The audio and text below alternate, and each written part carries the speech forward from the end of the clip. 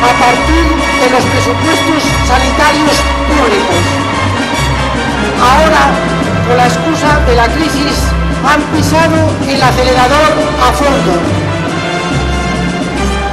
El Fondo Monetario Internacional, el Banco Central Europeo exigen la privatización de la sanidad a cambio de la compra de deuda española. Quiero también recordaros que la Constitución hace menos de un año se modificó, modificación express, de tal manera que el pago de la deuda y de sus intereses es prioritario a cualquier partida de gasto. Es decir, es prioritario sobre la, va por encima de la sanidad, por encima de, de, educación, por encima de bienestar social, por encima de todo lo fundamental de la ciudadanía, del pueblo. Ya hace años que España, por parte de los políticos, cuando hablamos de los políticos, deciros que todo es un cesto, lo mismo nos da el PP, que nos da el PSOE, que nos da CIU, son, son, son los dueños de empresas relacionadas con la sanidad privada. Y existe un gran interés en la privatización del sistema desde hace años, insistimos. Esto se va materializando más o menos rápido según la comunidad autónoma en la que nos encontremos. Por ejemplo, en Madrid en los últimos años todos los hospitales de nueva construcción son de gestión privada la Administración dota de un presupuesto para atender a una determinada población y todo lo que le sobre al gestor va a parar a su bolsillo.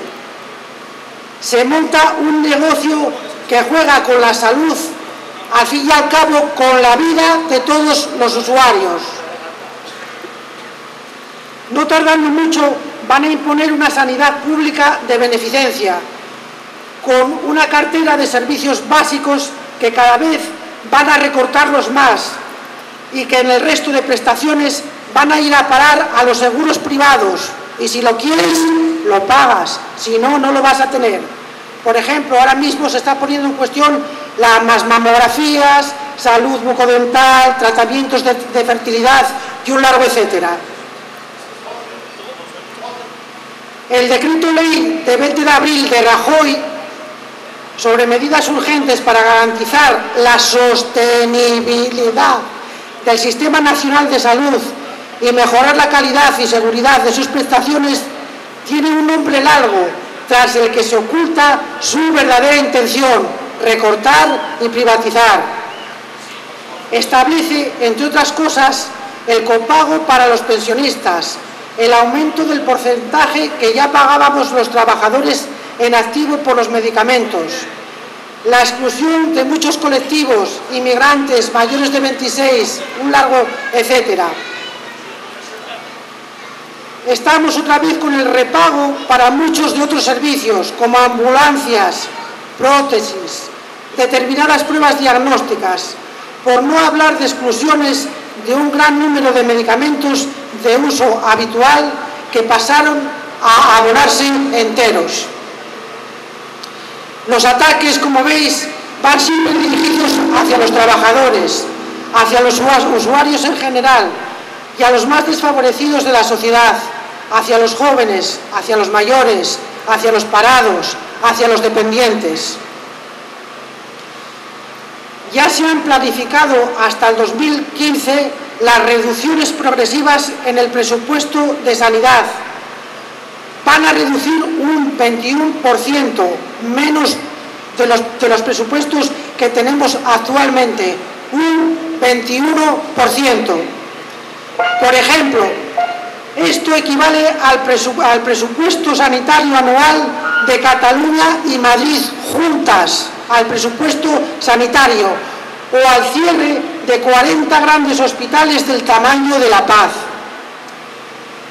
Para conseguirlo solo hay una manera de hacerlo, cerrando servicios, cerrando plantas, cerrando quirófanos y dejando las plantillas por debajo de los mínimos, lo que traerá como consecuencia inmediata el aumento de las listas de espera y el deterioro de la atención al usuario. desde luego, que y que nos busquemos la vida en la sanidad privada. Para eso están potenciando todos los seguros. No se puede explicar que en septiembre de este año un avión, un helicóptero Tigre y un obús nos costaran 1.782 millones de euros, mientras que el presupuesto de toda la sanidad del SESPA de nuestra comunidad son 1.600 millones de euros, es decir, 200 millones más. Tampoco tiene explicación que el 94,2 del total de las ayudas públicas hayan ido a parar a la banca. El 92, el perdón, el 94,2. La excusa para recortar es que no hay dinero, pero por ejemplo, en Asturias el nuevo UCA, partiendo de un presupuesto de 300 millones de euros, ya lleva gastados más del doble sin ninguna justificación y todavía no lo han abierto, será mucho más. El ahorro de Faustino Blanco con la aplicación de la jornada de 37 horas y media eh, dice que está entre 13 y 17 millones. ¿Es cuestión de gestionar bien los presupuestos sanitarios o de machacar siempre a los mismos? Bueno, ¿Qué nos pasa a los trabajadores de sanidad? Y ya que estamos en el ayuntamiento tenemos que recordar a, la alcaldesa que en el conflicto de sanidad están los médicos, pero está el resto del personal sanitario. Están enfermeras, auxiliares, celadores, administrativos, lavandería, mantenimiento, todo. Eso es lo que está detrás, no solamente los médicos.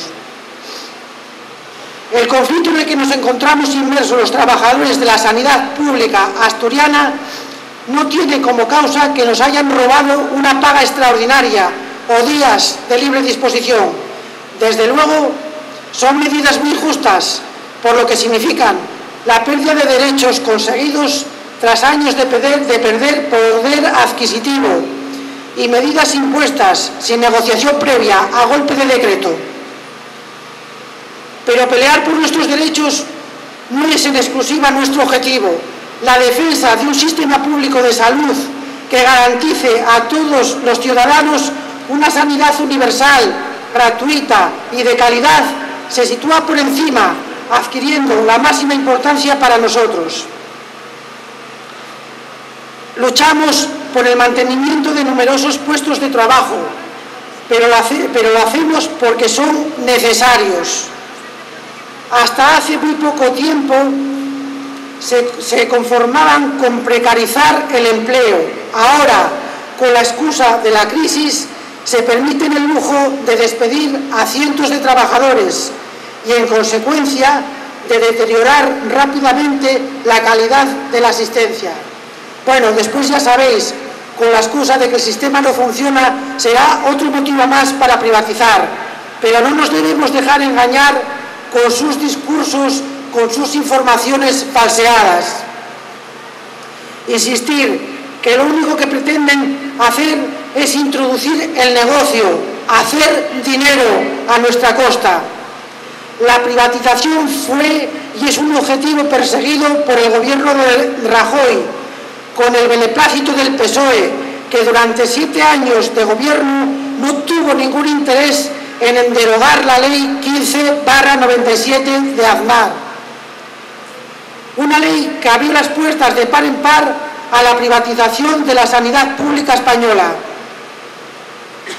Con cada recorte en personal se está agrediendo a los usuarios.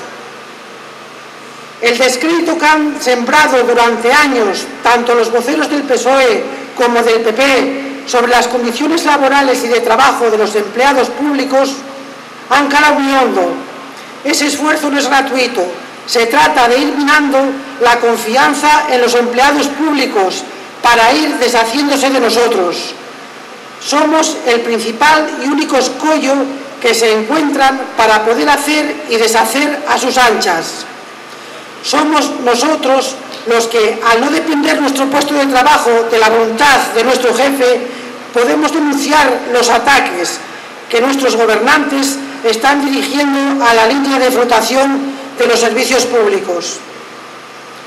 Deciros también que tenemos sueldos que según categorías, a pesar de lo que los medios de comunicación cuentan, no llegan a los mil euros.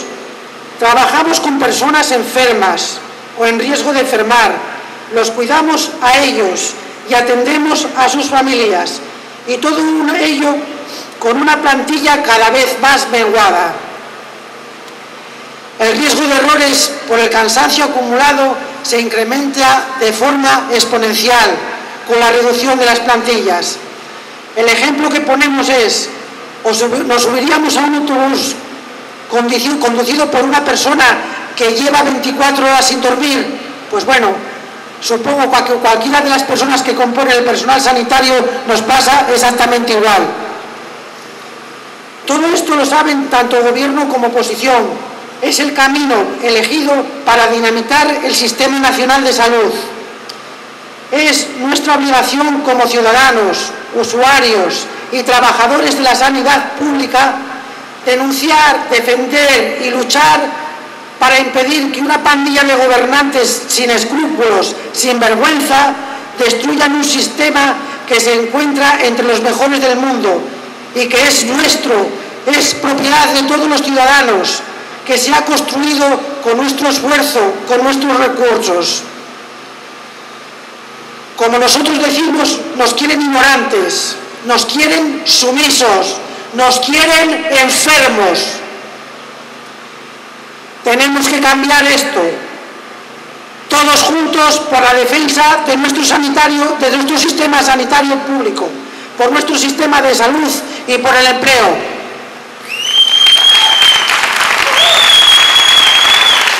Recortar en sanidad es lo mismo que matar.